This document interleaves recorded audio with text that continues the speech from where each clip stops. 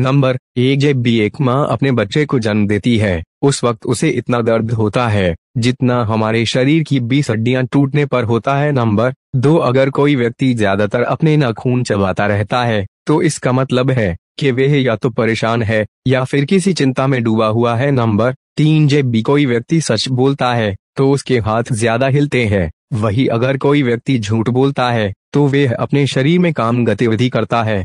Number चार, अगर आपको बहुत ज़्यादा हँसी आ रही है और आपकी हँसी रुक नहीं रही है तो आप अपने शरीर पर चोटी नुच सकते हैं। इससे आपकी हँसी बंद हो जाएगी ना।